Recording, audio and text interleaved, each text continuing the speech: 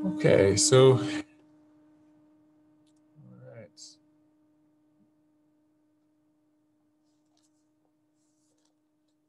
So this is anatomy and physiology or intro anatomy and physiology lab 2404L. I'm Dr. Anthony Edwards. Uh, uh, prefer if you uh, call me Dr. Edwards. If you call me Mr. Edwards, I won't get upset. Just my preference is uh, Dr. Edwards. All right, so all right, so if we're going to be, my office is in HNS 1305, which is right there behind, or behind us right there. Office hours 9:30 to 11 on Wednesdays, Tuesday to Thursday, 10:40 a.m. to 12:10 p.m. Because uh, of COVID, I used to meet my office, but because of COVID, basically as long as the weather's okay, we'll meet. Um, I can meet outside the pavilion right out there bad, then we can probably just meet in the uh, concept lab over here. And 8 a.m. to noon, I have online office hours. You can reach me by phone, 903-693-2098.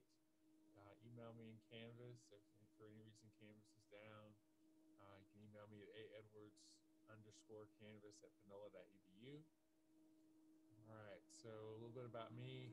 I uh, got my bachelor's at Texas A&M University in biomedical science. I have a uh, master's degree in health administration from the Texas A&M Health Science Center and doctorate in educational leadership and policy studies from Tarleton State University. Uh, my wife's Panola College graduate, and I'm happy to be here teaching. So uh, we use a variety of different teaching methods in class. We'll need a computer, some sort, you know, whether it's a laptop or tablet to do a lot of the assignments. Um, you will need a webcam for at least one of the assignments. Um, and um, there's information about distance learning if you need their support. And let's see, we'll go into the modules, show you how they're set up, and then get into the syllabus.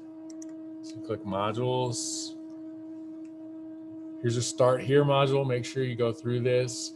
Okay. It kind of get shows you where everything's at and kind of introduce you to the class. So you can do this on your phone if you have it, if you want to. Uh, so here's the lab schedule. Syllabus, access that, course information sheet, sectional syllabus, syllabus addendum. All right. So there's a survey. I need you to do that. It gives me some basic information about you so I can serve you better as your instructor.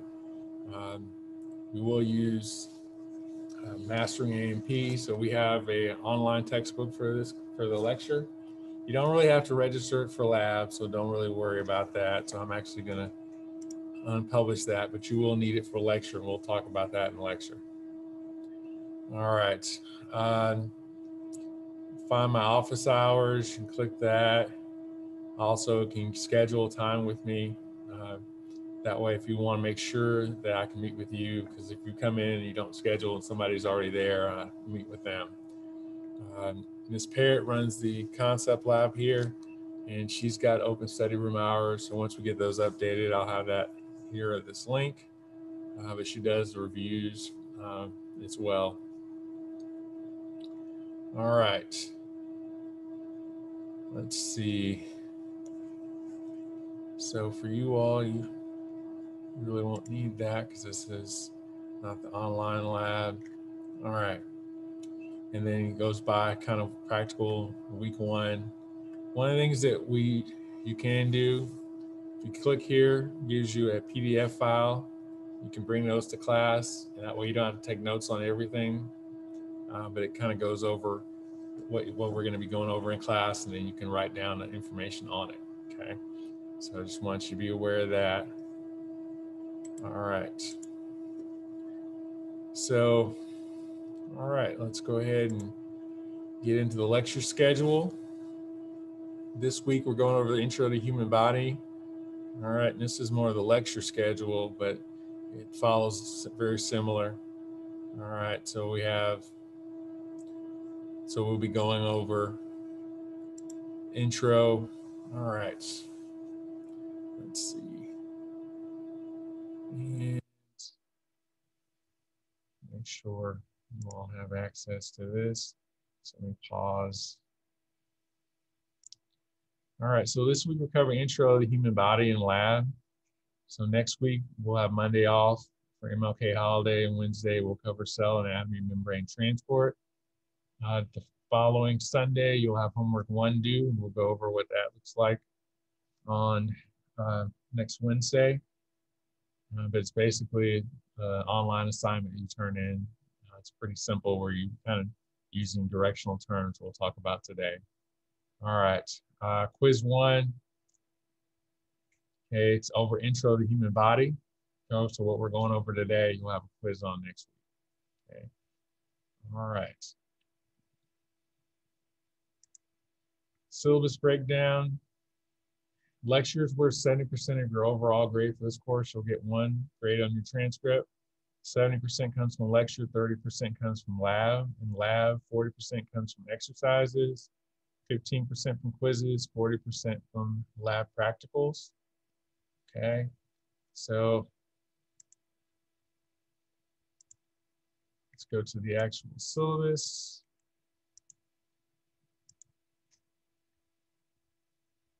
Oh yeah, have to cover this. So alternate operations during campus closure. So in the event we had an emergency or announced campus closure due to a natural disaster or pandemic, like COVID-19, might be necessary for Panola College to move to altered operations. During this time, Panola College may opt to continue delivery of instruction through methods that include, but are not limited to, online learning management system, uh, Canvas, can, online conferencing, email messaging, and or an alternate schedule. It's the responsibility of the student to monitor Panola College's website for instructions about continuing courses remotely. Canvas for each class for course-specific information or communication, and Panola College email for important general information. Okay, uh, this course does meet requirements for core curriculum for an Associate of Arts or Associate of Science. Okay, we do critical thinking in this class. We use communication skills in this class. We use empirical skills and quantitative skills, and we use teamwork. Okay, so for learning outcomes, you're going to be demonstrating an understanding of the anatomical structure and physiological function of the human body's organ systems and demonstrating an understanding of the interrelationships of the body's organ systems. All right, so general description of lecture and discussion topics for course content. So for lab, we cover basic concepts of A&P, interrelationship of chemistry and anatomy and physiology, structural components of the cell and their genetic regulation, importance of enzymes, energy, and metabolism to cell function, importance of membrane transport and membrane potentials to cell functions, classification, structure, and function of tissues, structure, function, and clinical considerations of the integumentary system, structure, function, and clinical considerations of bone, describe bone development, structure, function, and clinical importance of articulations, structure, function, clinical considerations associated with muscles, central nervous system, peripheral nervous system, sensory organs, endocrine system, formed elements of the blood, the heart, respiratory system, urinary system, digestive system, reproductive system, developmental anatomy and inheritance. We also cover physiological aspects of cardiac output and blood flow and the major muscles of the body. Okay, we use a variety of formats in this class.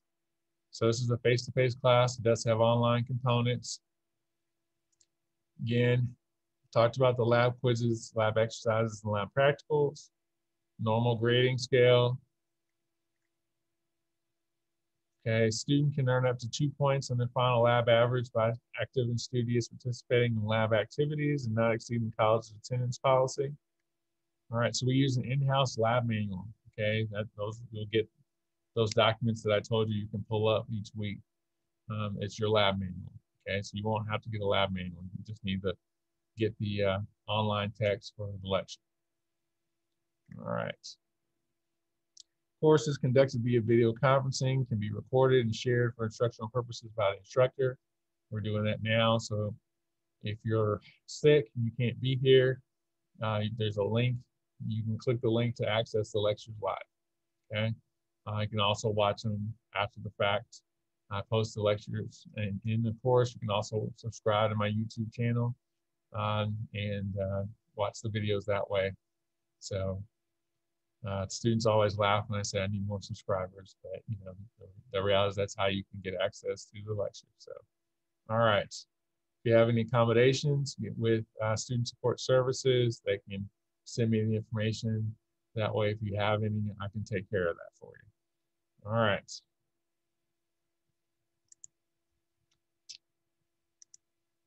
Course information sheet, a lot of similar information.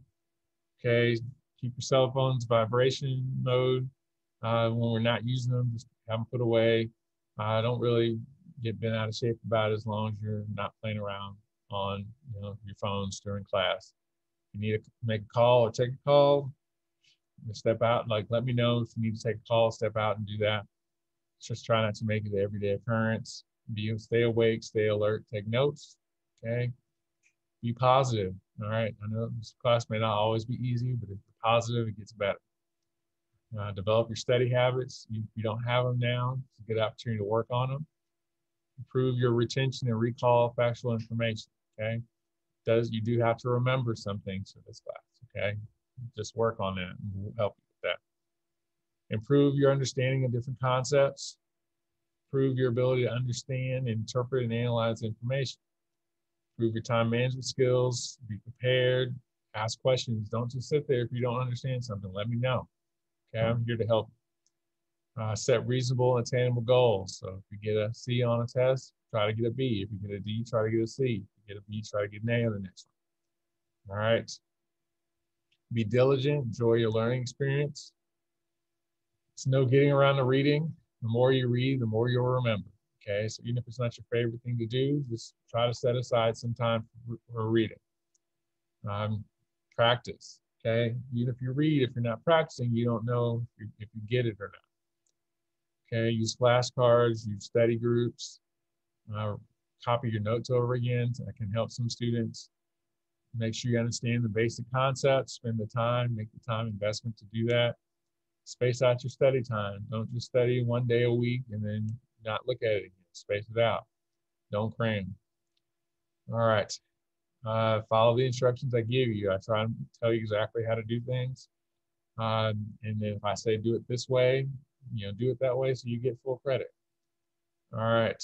Uh, use your textbook, your study guides, the lab guide that we give you in, in Canvas. Uh, study like you're taking an essay test. You don't really have essay tests in this class, but if you're you know prepared for that, then you know doing a fill in the blank or multiple choice test is pretty easy. So uh, quizzes that you take in here, generally you're going to be multiple choice. Uh, usually going to have some sort of word bank uh, the practicals, you get, you get no word bank and fill in the blank, okay? And you'll walk around the room and there's questions at every uh, station. All right. So, all right, let's go on to the next document.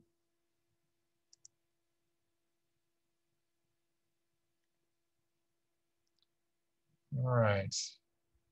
Face coverings, just make sure you wear your face covering. Make sure it's covering your nose and your mouth. Okay. Make sure it's uh, appropriate for school. And if you have any medical issues uh, regarding the face coverings, uh, contact um, student support services. If you qualify, they can get you, uh, they'll send me the information I need. But if that's not the case, then you need to have, just make sure you remember to bring it. All right. Else? That's pretty standard. We covered already. Next.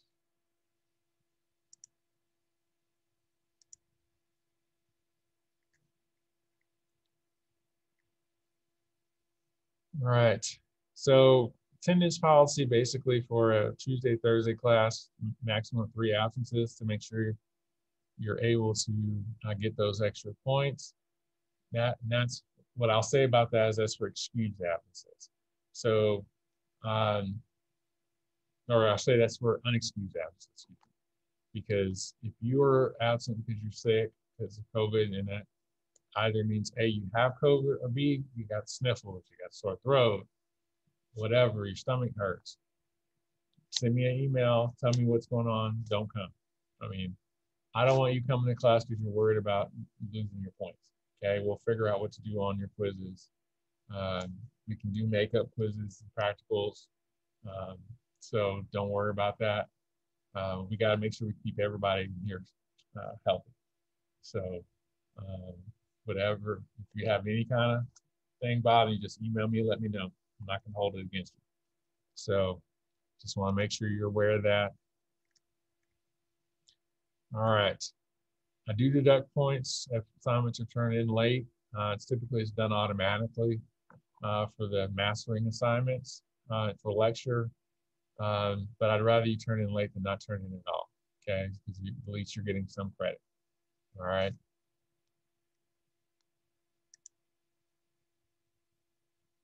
All right. So that's basically the kind of introduction to the course. And we'll get into our week one information. So,